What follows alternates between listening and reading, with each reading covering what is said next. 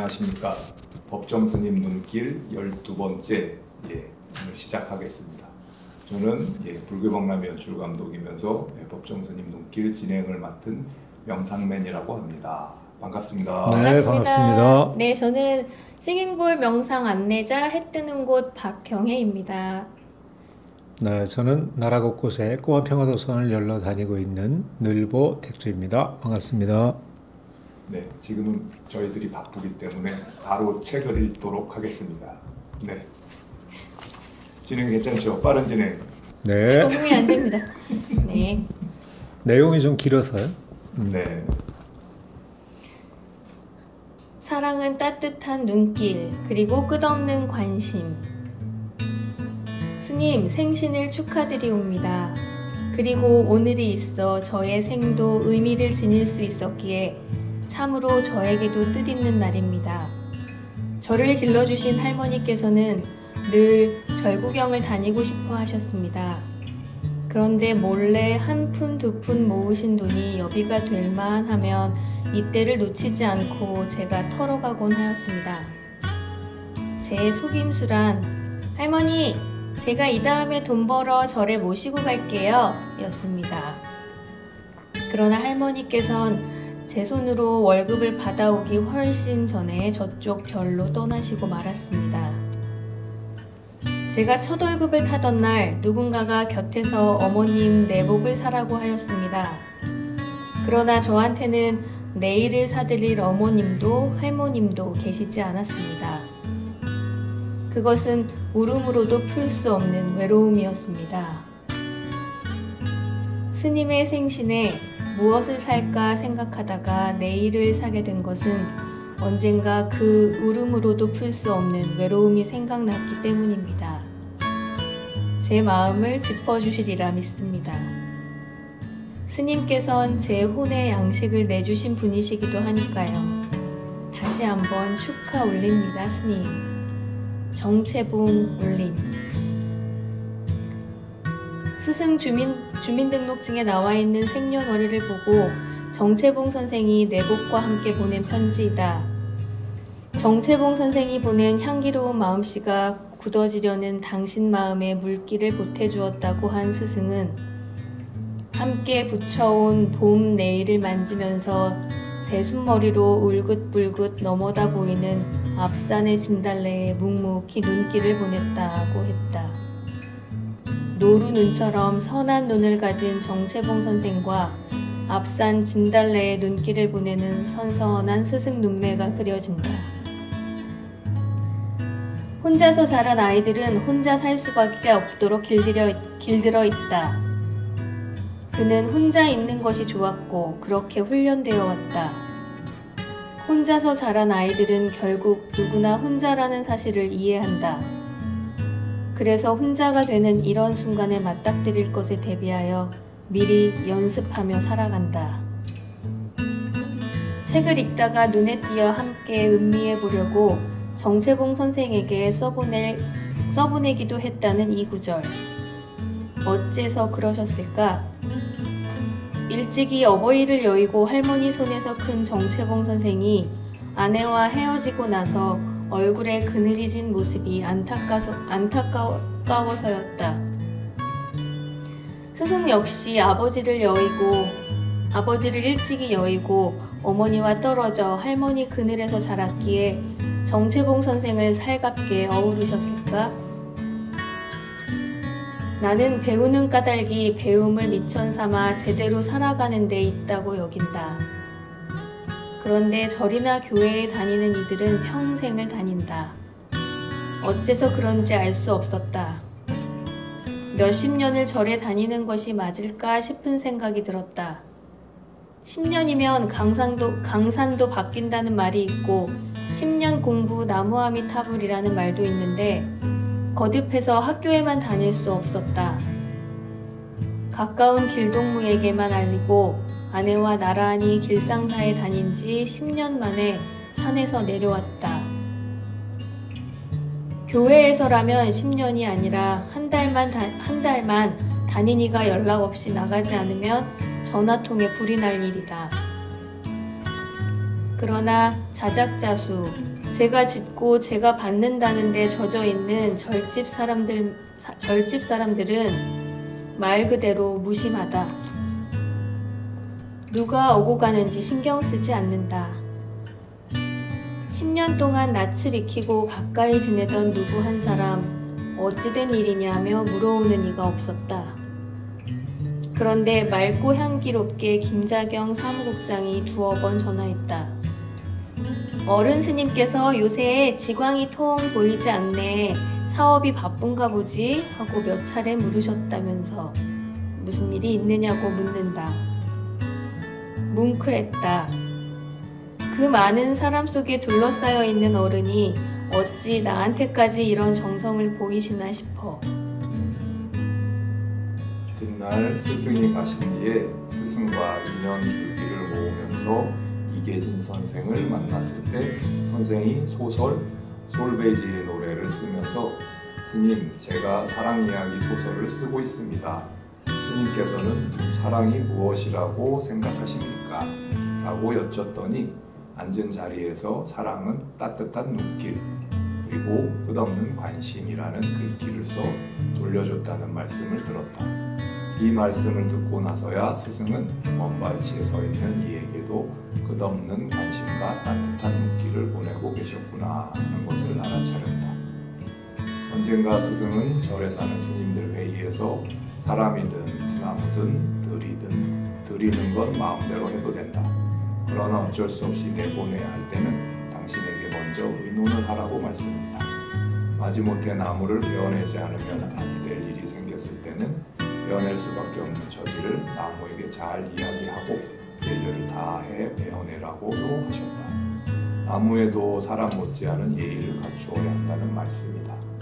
스승이 품은 사랑은 사람에 머물지 않고 그 나무를 비롯해 모든 사물에까지 두루 미친다. 4월 초파일은 부처님 오신 날이 아니라 부처님이 오시는 날이라고 꼭 집어 말씀하던 스승은 사랑이라는 건 저희가 좋아하는 게 무엇인가 생각하는 것 사람이든 물건이든 바라보는 것만으로도 넉넉한데 가지려고 해서 괴로움이 따른다고 했다.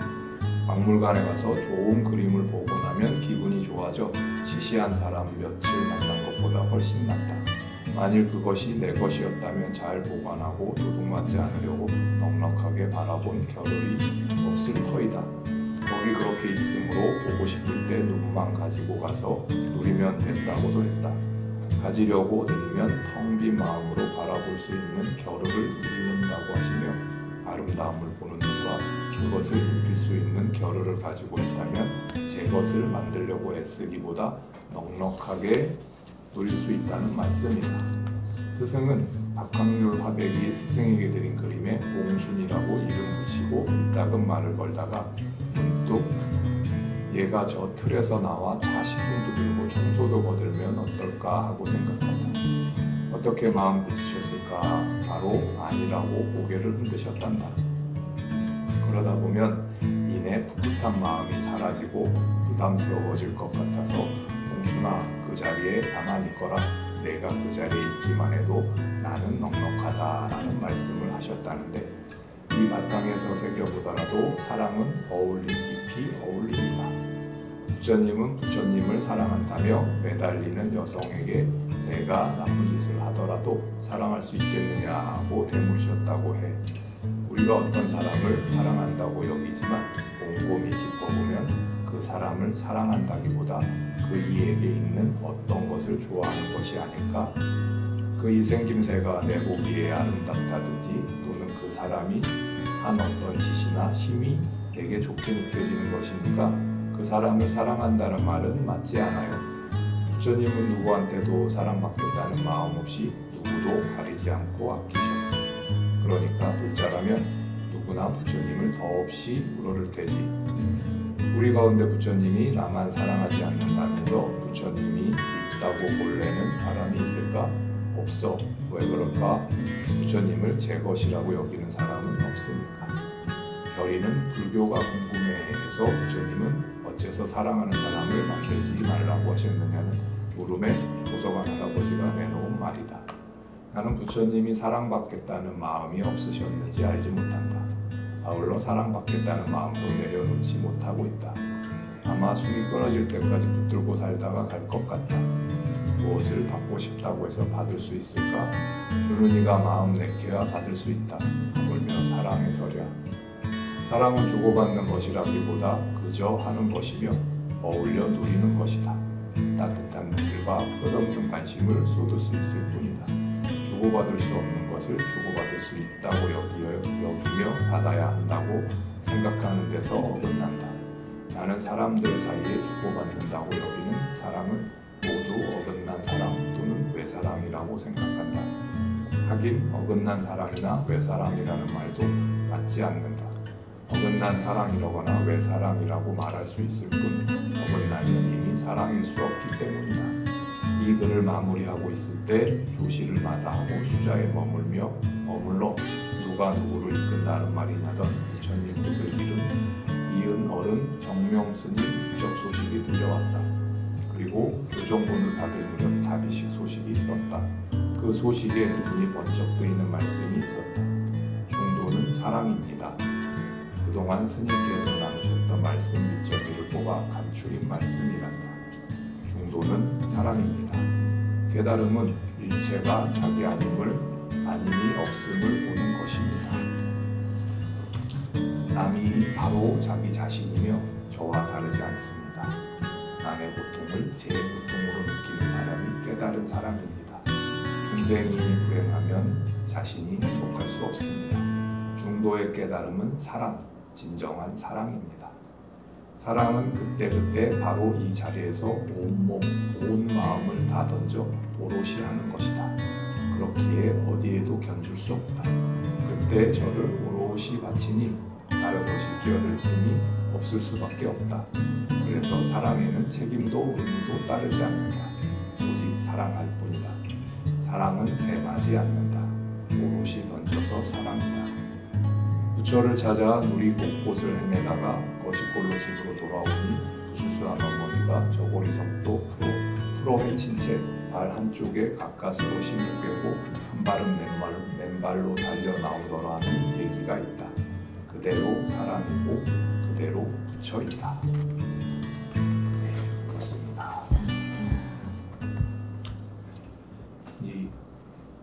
개똥이가 있을 때는 딱 이걸 읽어줘서 제가 이렇게 좀 사회를 볼 여유가 있었는데 한 명 이렇게 들었, 들었을 때는 참 이제 귀중했는데 나가니까 예, 그 더욱 귀중함을 알겠네요.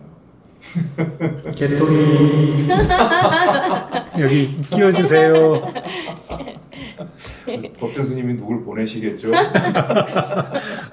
아, 근데 필요하면 찾아야지. 스님한테 뭐를 한 번 보내주고 두 번은 몰라도 네, 그. 이상 그건 이제 토끼가 이렇게 나무에 부닥쳐 떨어졌다고 농사 전폐하고 나무 밑에 가서 토끼 기다리는 거하고 똑같아지는 거 아니야? 스님께서 이제 이 고갯길까지 저희를 밀어주셨으니까 이제 앞으로는 저희들이 해나가야 되겠네요. 네. 알겠습니다. 뜨는 것 어떤 부분이 좀 마음에 들어왔나요? 어, 이게 지난 편도 그렇고 이번 편도 다 사랑에 대한 얘기라서 네, 저는 많이 와닿고요. 네, 네. 음, 주고받는 것이 사랑이 아니다라는 말씀도 저한테 이제 막 뜨끔뜨끔 하고요. 음, 뭐 이렇게 계속해서 아니구나 내가 한 것은 그동안 사랑이 아니었어. 그러니까 사랑은 그저 할 뿐이죠. 할 뿐인데 예, 그걸 이제 거래나 욕망으로 연결하게 되는 순간 어긋나는 거죠. 음. 음. 그리고 또 여기 내용 안에 어떤 여성이 부처님께 뭐 내, 내가 나쁜 짓을 하더라도 사랑할 수 있겠어요? 라고 물어봤다고 하잖아요. 아니 그게 아니라 부처님을 사랑한다고 하니까 아, 부처님이 물은 거야. 아, 부, 부처님께서 잠시만요. 부처님은 그렇군요. 부처님께서 이렇게 말씀하신 거. 그래서 이제 그 사람을 사랑하는 게 아니라 그 사람이 한 어떤 행동이나 뭐 그 사람의 외모를 사랑하는 거다. 계속 생각해 보는 거죠. 저는 저 남자를 사랑하는 건가? 저 남자가 가진 무엇을 사랑하는 건가? 음.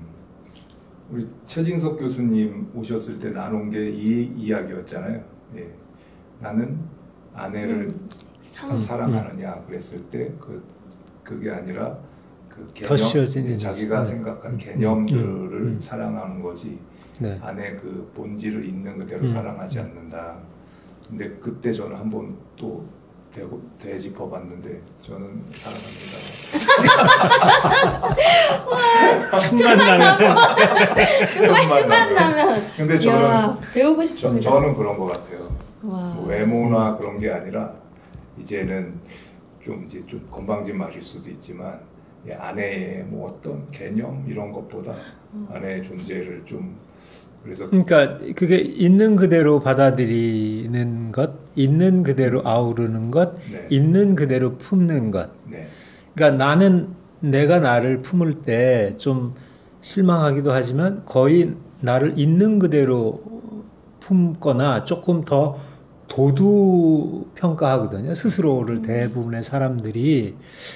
그래서 제가 도두보다는 말을 쓰는 게 서- 상대도 그렇게 좀 도두 평가하는 것, 그렇게 받아들이는 것이 어, 사랑의 근간이 아닌가? 음. 엄마가 아이를 사랑할 때 음. 어떤가요? 그 아이가 뭐 어디가 불편하거나 잘생기거나 못생 이거 하고 상관이 없잖아요. 그냥 네. 음. 이 자체가 사랑스러운 것처럼 네.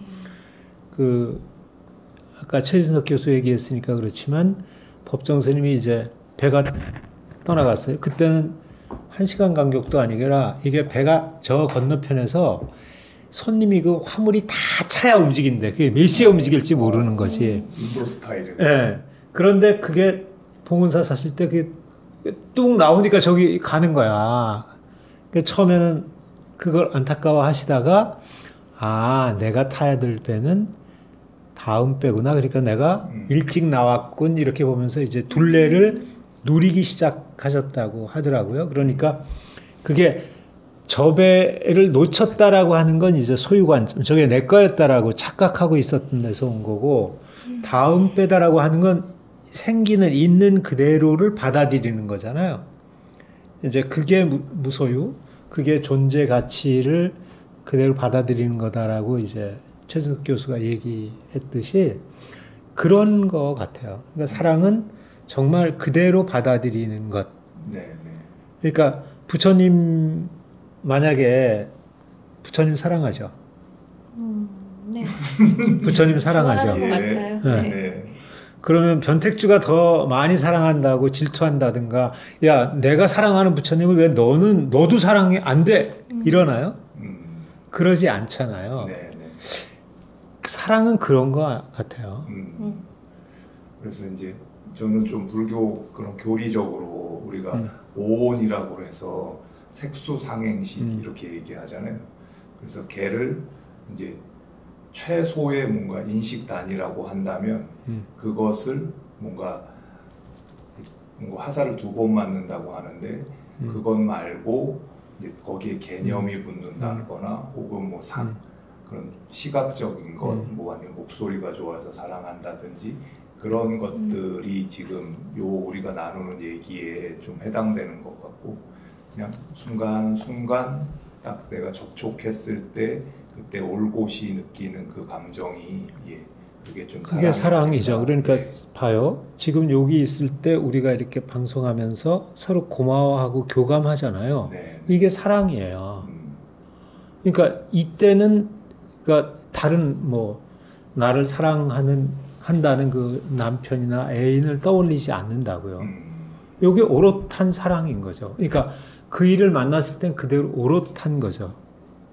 그러니까 그 사랑은 그대로 오롯한 거니까 당신만을 사랑해라는 소리처럼 거짓된 말이 없죠. 음, 만약에 내가 가진 모든 거를 바쳐서 어떤 특정한 사람만 사랑한다면 나는 먹고 살 수도 없고 다른 힘이 하나도 없는 거예요. 음, 그럼 살아남을 수 없잖아요. 그리고 자기가 사랑하는 사람을 살릴 길도 없어요. 어, 오롯이 사랑하는데 모든 걸 다 바친다는 것, 그렇게 말하는 게 거짓인지 모르는 거죠. 음, 그래서 이게 불교가 하는 건 어떤 것이 오롯한 것이고 어떤 것이 참된 것인지를 우리가 찾는 거잖아요. 사랑도 어떤 사랑이 참된 것인지를 어 저도 뭐 찾아가고 있는 건데 그렇게 좀 찾아보는 것, 좀 새겨보는 것, 마음 챙김한다는 것도 결국은 사랑하는 길을 찾는 거잖아요. 또는 사랑을 오롯이 제대로 하려고 마음 챙김하는 거지 사랑 안 하려고 마음 챙김하는 사람은 없을 것 같아요. 네. 불교적인 사랑은 저희가 사랑이라는 말보다는 잡이라 그래서 사랑과 연민을 같이 쓰고 있잖아요.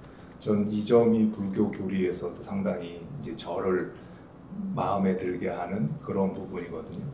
사랑이라는 말로 다 품을 수도 있지만 불교에서는 그 사랑을 사랑과 연민으로 나눠서 이 두 가지를 합쳐서 표현하는데 그냥 사랑이 사랑이라는 말이 함유하고 있는 게 아주 크고 그렇지만 이 불교적인 자비라는 말은 저한테는 조금 더 예, 좋았어요. 거기는 저는 생각을 좀 달리 하는데요. 네, 네. 사실 사랑에는 기쁨, 잘하는 건 기쁨이죠. 그 비라는 건 슬픔, 그러니까 뭉클하고 안 됐을 때 아까 해 뜨는 것이 지난 시간에 읽었던 그 죽었다는 아이를 품은 어머니 네. 대목에서 말을 잊지 못했잖아요. 이런 것 이 그냥 다 담겨 있는 거죠. 사랑이라는 말 가운데. 음, 굳이 그게 자와 비를 나눠서 하기보다 그 제가 아직 쉬어보지는 않았는데요. 네. 법정 스님 글에 아마 저는 가장 많이 나오는 낱말이 사랑이라고 생각을 해요. 음, 저번에 보현행운품 여덟 번째 회양품 팔 번째에 보니까 사랑이 열일곱 번이 나와요. 음, 그러니까 실제로 자비까지 합치면 더 클 텐데 네. 우리가 자비라고 먼저 번역이 됐기 때문에 자꾸 그거를 전제하지만 사랑 속에는 그게 다 들어 있는 거죠. 그러니까 아까 그 아이가 그렇게 죽었는데 품었다고 할 때 우리가 그 뭉클하고 아련한 이 부분 때문에 말을 잊지 못했던 것이 누구나 느껴지는 거잖아요. 음, 그러니까 그건 언어 이전의 문제여서 그게 자비여야 한다, 사랑이어야 한다라는 것은 그냥 우리가 관념에서 생각인 것이지 자비로 표현하든 사랑으로 표현하든 그거는 벽이 있을 수는 없을 것 같다는 생각이 듭니다. 음. 저는 굳이 얘기한다면 이제 사랑으로 표현하는 네. 편이죠. 뜨는 곳은 어떠세요?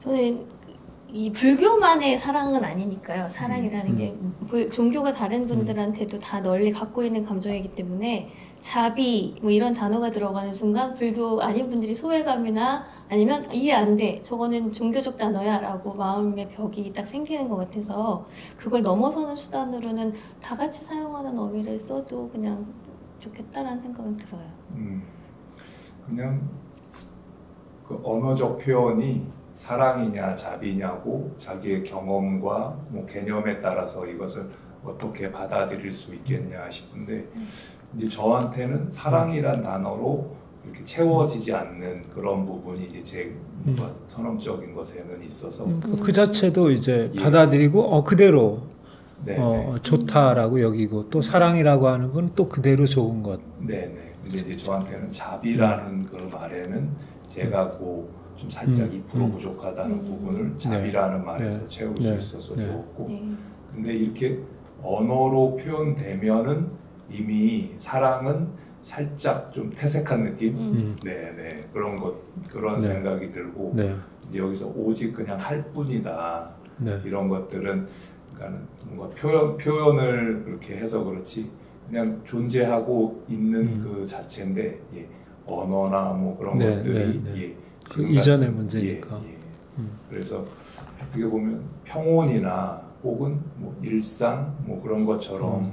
이 사랑이 그렇게 그냥 존, 존재했으면 하는 예, 그런 생각도 좀 들고 이제 이 사랑을 언어적이거나 이렇게 지금 이렇게 표현하는 것보다 저한테는 그냥 일상이라든지 평온이라든지 음. 이런 것들이 좀 사랑이어야지 음.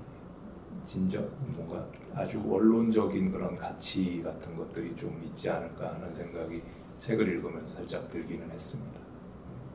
이론적으로는 저도 아 만나는 모든 그 음. 내가 접촉하는 모든 사람 하나 하나에게 집중해주고 그 순간에 온 사랑을 다담아서 음, 해야 하는 것이 사랑이다라고 느끼면서도 실제로는 자꾸 구분하게 되는 거죠. 이 습관적인 것과 뭐 음. 이런 것 때문에 그건 뭐 해 뜨는 곳만이 아니라 그 어, 조그마 그렇게 얘기했던 저도 이제 그런 순간들이 참 많이 있고요. 아마 그래서도 이제 최근에 마음 챙김 하신다고 하지만 그 저는 마음 챙김이라는 말보다는 마음을 다스린다 이런 말을 더 좋아하는데 일단 그 마, 그래서 이제 마음을 추스리고 다스리는 연습도 하고 꾸준히 그렇게 닦아 나가는 거잖아요. 그래서 그런 측면에서는 뭐 다르지 않다. 뭐 특별히 달라서 제가 얘기하는 건 아니라 우리가 저번 시간에도 그 길상사에서 녹음할 때도 그랬지만 뭐 지금 이른을 앞두고 있더라도 서툴더라. 사랑하는 것도 서툴고 또 살아가는 일도 서툴고 전에 겪었던 일을 겪는 것 같지만 늘 새로운 것 같고 어떡하지? 라고 생각하는 거는 비슷하다. 음, 그래서 누구나 서투니까 뭐 그건 그냥 좀 미안이 되려나요?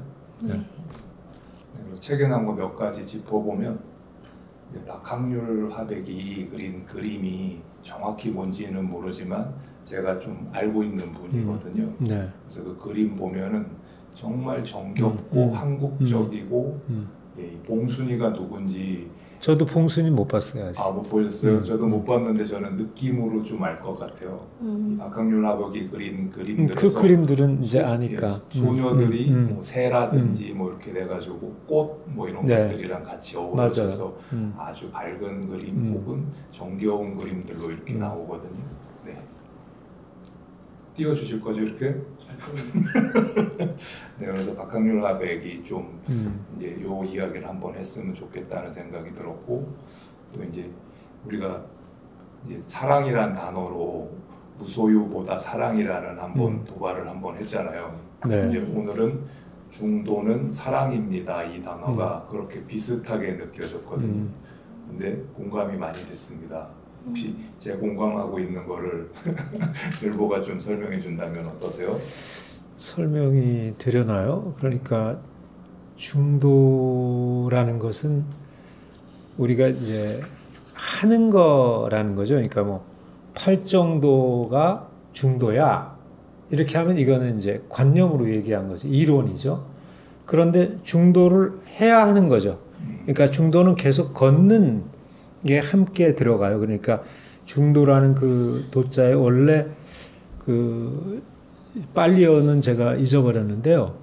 팔정도에서는 길이라는 것만 들어있고 이 중도에서 얘기하는 도자에 원래 빨리어에 보면 걷는다는 말이 한껏 같이 들어있다고 해요. 그랬으니까 사랑은 하는 것인 것처럼 중도도 하는 거죠.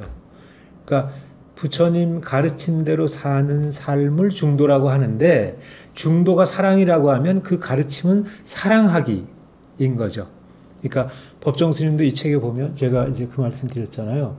깨달음에 이르는 길은 두 가지가 있는데 하나는 참선 그러니까 선정 명상이요 하나는 사랑하기다. 근데 그게 이 정명 스님이 입적하신 다음에 이 스님이 가졌던 사상도 중도는 사랑이다라고 하셨다는 얘기를 듣고 우리 이제 법정 스님의 생각이나 다르지 않았구나. 이렇게 저는 받아들였어요. 그래서 이게 원래 글에는 없었는데 그 이제 말씀을 듣고 이제 도- 입적하신 다음에 그 나온 얘기를 듣고 여기다가 이제 뒤에 교정 보고 난 뒤에 다시 끼워 넣어 준 거죠. 음. 혹시 이 말에 좀 했던 것은 공감하나요? 뒤에 있는 문장을 읽으면서 이제 앞에 거만 보고는 못 알아들었어요. 음. 중도는 사랑입니다 모르다가 뒤에 거를 읽고 나와 남이 다르지 않고 내 고통과 남의 고통이 다른 것이 아니다. 음. 구분하지 않는 그 마음이 사랑 아닌가라는 또 생각이 드네요. 그렇죠. 내가 나로구나 하는 데서부터 출발하는 거죠. 혹시 오늘 좀 이야기 중에서 좀 제가 빠뜨린 부분 있을까요? 더 하고 싶은 얘기? 저는 충분히 다 된 것 같습니다. 음. 얼른 지금 점심 준비를 아, 그래요? 해야 돼서 마음이 바빠. 역할이 많아가지고 오늘 다음 다음 부분부터는 이제 사이를 명상하다 이래서 사랑 얘기 이제 끝날 것 아 같거든요. 끝나는 아 아쉽네요. 남편이 출연을 못해서 아쉽네요. 아 그러게요. 법정 스님이 아니 근데 그 사이도 결국은 내동 그런 얘기니까 네. 네. 관계잖아요. 관계. 음. 예. 음. 못하는 물건 얘기가 하늘과 땅 사이 뭐 이런 식으로 이제 좀 거기는 커지죠 이게 그렇지만 어 마침내 닿는 데는 다 똑같으니까 음, 그러면은 오늘 좀 마음 나누기 해주시면 어떨까요? 저는 어, 남편이 좀 이 사랑 얘기 부분에서 언젠가 한 번은 나왔으면 하는 바람이 있었으나 다음에 더 적절한 타이밍에 모시도록 하고요. 섭외가 필요한 분이라서 어, 저희 남편과 제 관계가 여기 책에 나와 있는 진짜 사랑을 하고 있었나 정말 이 상에 집착해서 이게 좋아 저게 좋아 이런 걸 하는 네가 좋아 라는 표현들을 대신하고 있었던 게 아닌가 하는 시기가 있었던 것 같고 지금 현재는 저는 아직도 거기서 완벽하게 못 벗어난 것 같긴 한데 제 느낌적으로 남편은 이제 거기서 벗어난 것 같아요. 그 존재로서의 저를 사랑해주는 느낌이 정말 들어서 어, 저런 인연을 보내주신 부처님께도 감사한 마음을 났습니다. 네, 감사합니다. 여보 사랑해요. 오, 여보 저도요. 명상맨 명상맨 병이 평생을 놓지를 않아. 여보 사랑해요. 저희 얼굴이 너무 빨개졌네. 저희 구독자와 애청자인데, 자 시청자인데 예, 꼭 댓글 달아주고 하기 때문에 이런 거 좋아합니다. 많이 해줘야 됩니다. 아, 저는 그냥 거- 시청자 여러분 사랑합니다. 아더 품이 있고 멋있어. 이게 비손이 뭔지 아시죠? 비는 손. 음, 음. 우리가 보통 이제 합장이라고 절집에서는 얘기하는데 우리말로 비손이라고 해요. 그러니까 요즘 같이 코로나 시대에 이렇게 뭐 닿는 것이 좀 부담스러울 때 참 좋은 인사잖아요. 이렇게 하면 또 악수가 뭐 그러니까 내 손에 무기가 없어 하는데 이러면 이제 이 인사를 하면서 때리거나 할 수가 없어요. 그래서 코로나 시대에 참 좋은 인사법이니까 우리 이 인사법으로 인사하십시다 앞으로. 음. 네. 사랑합니다. 네, 그럼 오늘 이렇게 마치도록 하고 예. 이제 자해 그 명상. 사랑 예. 자해 명상으로 네. 예. 오늘은 자 몸을 바르게 하시고 입가에 미소 짓고 숨을 길게 들이시고 천천히 내쉽니다. 자, 비손하시고 존재하는 모든 것들이 고통에서 벗어나 진정으로 건강하고 행복하고 평온하기를 바랍니다. 수고 많으셨습니다. 고맙습니다. 네. 칩칩이 고맙습니다. 사랑합니다. 칩칩이. 저는 빨리 밥에 버튼을 누르겠습니다. 빨리 빨리 빨리.